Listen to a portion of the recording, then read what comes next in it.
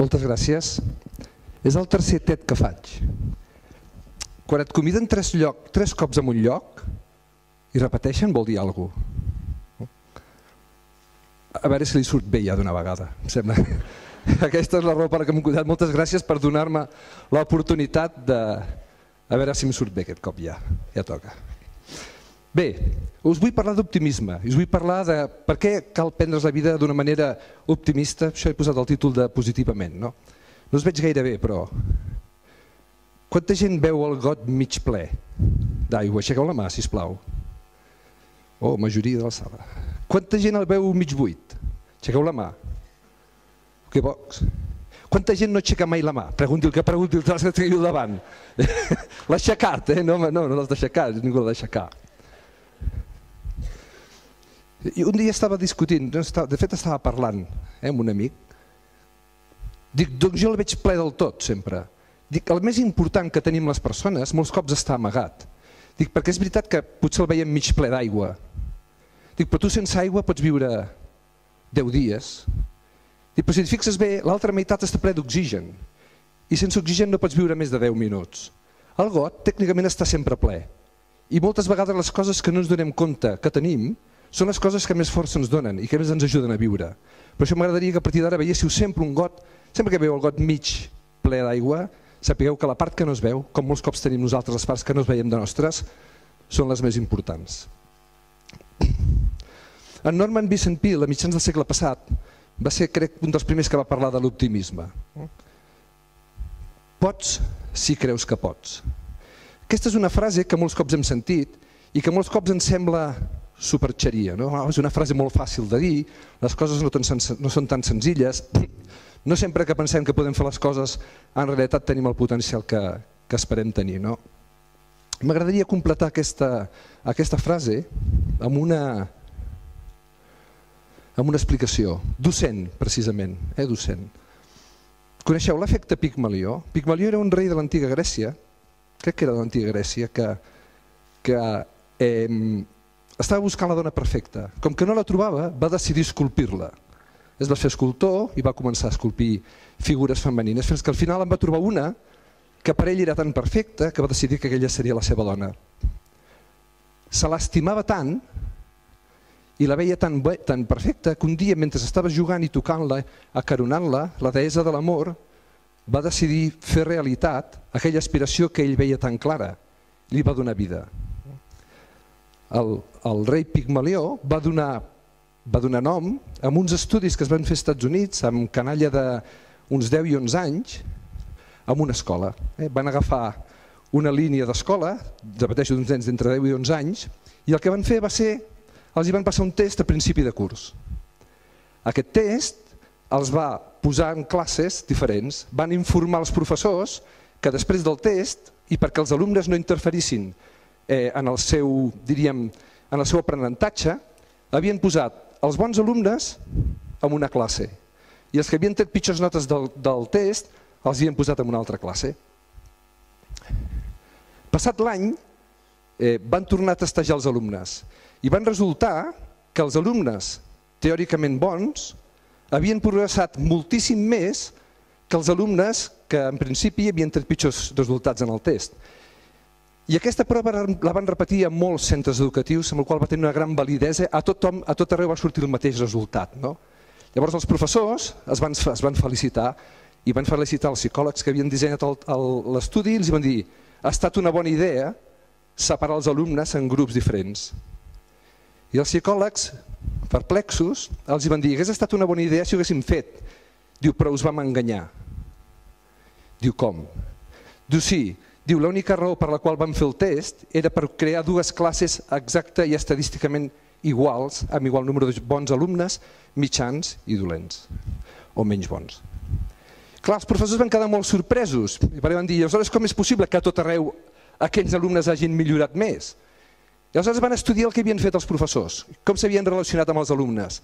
I la principal conclusió que van treure de l'estudi és que l'expectativa que el professor té del seu grup d'alumnes influeix directament en el resultat que tenen i en l'aprenentatge que fan els alumnes. però no per art de màgia, perquè influeix directament amb la manera en què es relacionen el professor amb els alumnes. Us poso un exemple.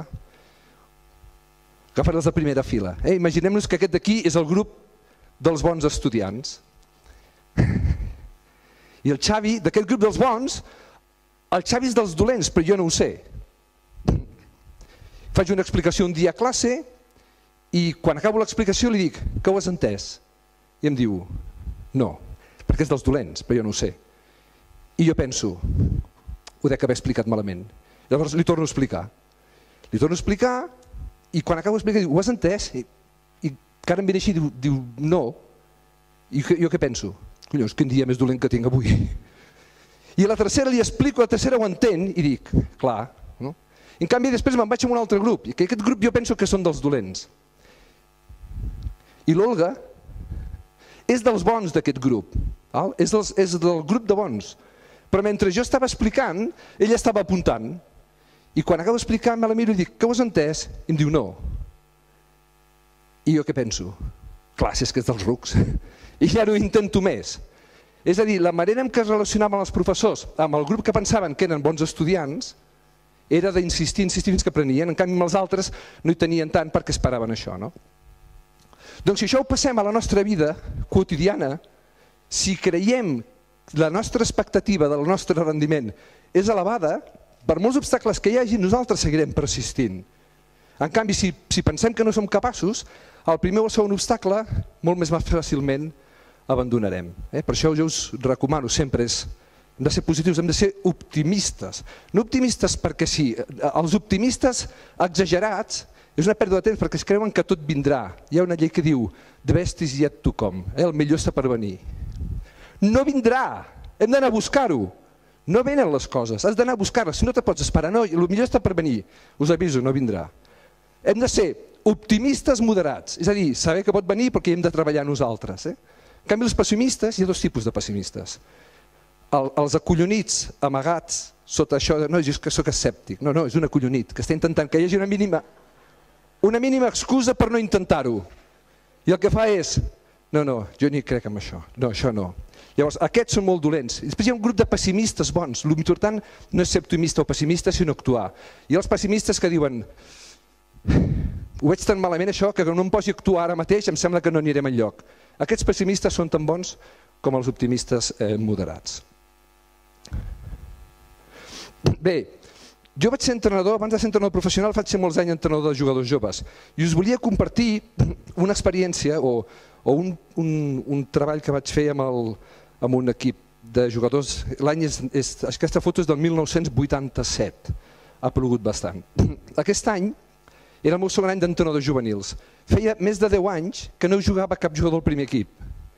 I feia més de 10 anys que no aconseguíem cada campions d'Espanya amb l'equip juvenil del Barça. I aquest any vam tenir un canvi. Eh? Jo vaig parlar amb els jugadors, vaig dir, a veure, no podem seguir entrenant només tres dies a la setmana, hem d'aconseguir eh, entrenar més. I es van quedar així, no? I a veure, vosaltres voleu arribar a ser professionals? Sí o no? És a dir, ja no parlem de guanyar el Campionat d'Espanya, anem a parlar de ser capaç d'arribar a jugar amb els professionals, no? Ells em van dir, home, doncs sí. Dic, bé, si dic els professionals entrenen cada dia, i nosaltres només tres cops hem d'entrar cada dia. Em diu, és que no cobrem nosaltres. I, bueno, no, no feu cas de si cobreu o no. Si ells entrenen cada dia i vosaltres entreneu només tres cops a la setmana, d'aquí un any, qui serà més bo encara, si ells ara són més bons? Van quedar així, no? Home, una part de raó. Els juvenils s'ho creuen tot, també, eh? però, però jo tenia raó aquí. Jo tenia raó. I ells em van convèncer a mi que ens havíem d'entrenar fins i tot els dissabtes, perquè van entendre que havíem d'entrenar fins i tot més que els professionals. Bé, vaig anar a demanar més pista per entrenar i allà la directiva, el Barça, em va dir noi, és un club multiesportiu, no podem entrenar més. I com, com que no, no, aquests jugadors no arribaran mai al primer equip. Diu, no hi ha més pista, només pots fer tres dies. Vaig dir, i al pàrquing de l'estadi, que podem anar a córrer? Es van quedar així, no? I home diu, ja t'apanyaràs, no?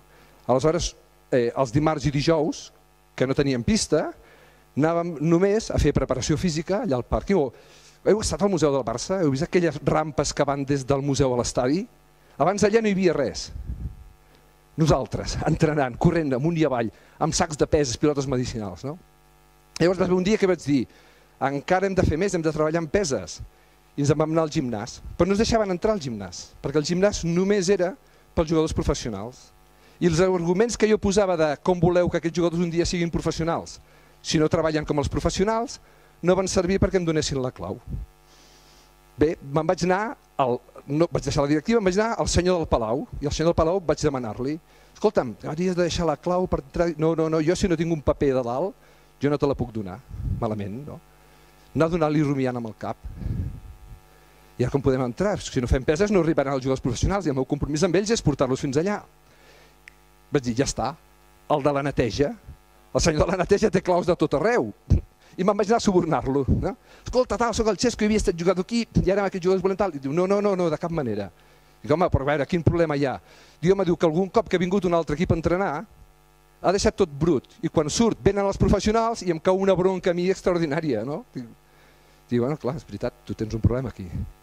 Dic, i podries confiar en mi només una setmana? Tu deixa'ns dimarts i dijous les claus a aquesta hora que sé que no hi ha ningú i t'asseguro que et podràs afeitar utilitzant el terra de mirall.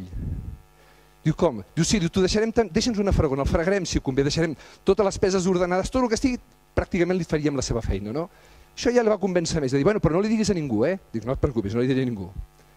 I vam aconseguir tot aquell any treballar amb peses. Al cap de dos anys ja ens van deixar tots entrar allà, perquè els resultats que vam obtenir per aquest desig de, de créixer va ser extraordinari. Si bé feia 10 anys que els jugadors no arribaven al primer equip, Aquí tenim la foto d'alguns d'aquests jugadors i si recordeu alguns jugadors del Barça podreu reconèixer alguns d'aquests. El primer de la dreta sóc jo. Eh? Jo tenia, era la meitat cara, diríem. Jo tinc 49, allà tenia 24, em sembla. Següent és l'Armand Rubinho, que havia jugat amb nosaltres, va jugar amb la selecció espanyola, va jugar amb l'Atlètic de Madrid, va arribar a professional. El següent, el Miguel Ángel Paracuellos, va jugar a Divisió d'Honor a Saragossa. El següent, el Xema Paré, va jugar molts anys al Barça. Va ser un gran jugador internacional, olímpic, campió d'Europa. El Javi Rodríguez, el número 2, va jugar uns 14 o 15 anys de professional a Galícia. El següent, el del mig, és el David Barrufet, que es va retirar fa dos anys amb 8 Copes d'Europa, 8 lligues, medalla d'or al Mundial de Túnez, resultats increïbles. Fixeu-vos, eh? i abans no pujava ni un jugador al primer equip. El Piano Roman, el següent, eh? el número 9. El Piano Roman va jugar diversos anys, ara és un dels, està als castellers de Vilafranca. Va jugar diversos anys. El següent es va casar amb la filla del rei. és l'Iñaki Urdangarín, que estava amb nosaltres aquell any. De sota el Fernando Barbeito, també, igual el, el Fernando Barbeito, l'Iñaki, el Barrufet i el Xema Paré tenen Copes d'Europa, lligues, eh, medalles eh, olímpiques, tenen un, un palmarès increïble. Així destacats a sota n'hi ha un altre, un altre que va de vermell, que està jupit, que aquest jugador, aquest noi va estar jugant 10 o 12 anys, va estar jugant 10 o 12 anys, més, 14 anys a la lliga professional a Galícia, Algú el reconeix que està jupit? Petitó? Hauria de ser molt culers. I actualment ell és l'entrenador del Barça. És el Xavi Pasqual, el Pasqui, eh, que van guanyar fa dos anys la Copa d'Europa, que estava amb nosaltres i que jo el vaig portar l'any que jo vaig ser internacional. Ah, jo vaig ser l'entrenador professional. Fixeu-vos quin canvi. Sabeu com va ser aquest canvi? El dia que vam fer una cosa, no vam, no vam, no vam permetre que les circumstàncies que ens envoltaven en aquell moment influïssin en el que nosaltres volíem. I crec que és una gran aprenentatge per avui en dia. No deixem mai que les circumstàncies que ens, que ens, que ens envolten influeixin en les coses que nosaltres volem. Posem-les i amb l'estat mental adequat aconseguirem el camí. Però no hi rebutgem d'entrada perquè semblen impossibles. Hem de ser optimistes. La meva filla, Annie, és una gran esportista. Ara està als Estats Units, l'ha fitxat una universitat americana i va treure medalla fa als recents Jocs Olímpics. Eh, ha estat vivint part dels últims anys al Car de Sant Cugat, entrenant matí i tarda i estudiant allà. I jo recordo un dia que la vaig pujar, tot el camí de pujada, amb el cotxe, des de Barcelona, es va estar queixant, i queixant, i queixant, de, de tot. Casualitats de la vida, jo portava un joc de cartes allà al, al cotxe, I li vaig dir, dic, Ani, que em deixes una juguesca? Diu, papa, diu, diu va, ja, ja mirava, diu, ja, ja, ja me'n vol fer una, no? Dic, mira, agafo les cartes, li obro així i dic, escull una carta. Es queda així, dic, escull, escull, no dic, no és, un, joc de, no és un joc de cartes, escull una carta. I en treu una. Dic, mira-la bé. Se la mira i li dic, aquesta carta ets tu, és la que t'ha tocat. Dic, i, aquesta, i aquest joc de cartes són totes les nenes de 15 anys que hi ha al món. I ara et faig la segona part del joc a veure si l'acceptes. Torna a posar-la dins, les barregem, en treus una i et quedes amb aquella carta. I ell em diu, diu, vols dir de tot el món? Dic, sí, clar, dic de tot el món. La vols tornar a posar? Em diu, ni parlar-ne. Dic, doncs no et queixis mai més. Vivim a la millor època que es pot viure a la vida. Mai a la vida havíem tingut tantes coses i moltes vegades només mirem les coses que no tenim, les coses que no fem o les coses que no som. No ens donem compte de l'optimistes que podem ser realment si nosaltres tenim seguretat en les coses que som. Moltes gràcies. Moltes gràcies.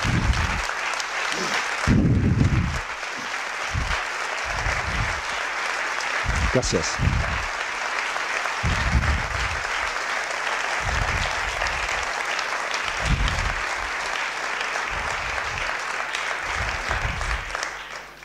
Em sembla que serà l'últim tet.